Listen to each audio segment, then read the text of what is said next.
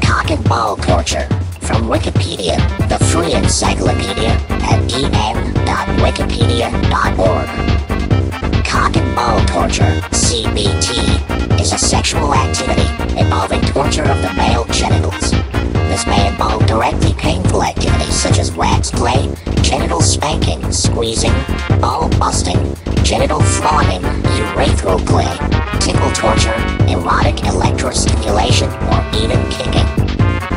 The recipient of such activities may receive direct physical pleasure via masochism through knowledge that the play is pleasing to a sadistic dominant. Image, electrostimulation applied on a penis.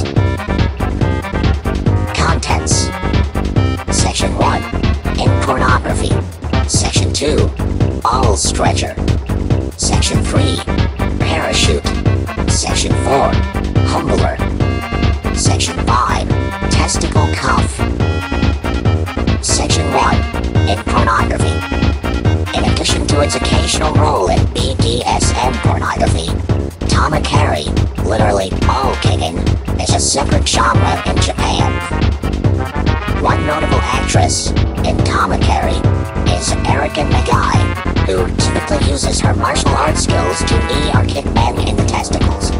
Section 2 Ball Stretcher. A ball stretcher is a sex toy that is fastened around a man in order to elongate the scrotum and provide a feeling of weight pulling the testicles away from the body.